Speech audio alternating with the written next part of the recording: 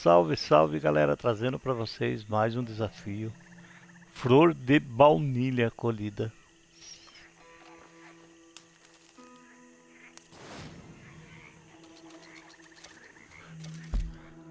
A flor de baunilha é uma flor que dá só uns pezinhos. Esses pontos aqui, cinco pontos, serão mais que suficientes para vocês concluir o desafio de vocês.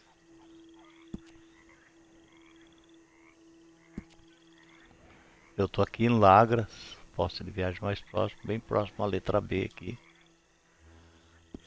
Deixa o like, compartilha, se inscreve no canal, isso ajuda muito o YouTube divulgar o trabalho da gente. Valeu!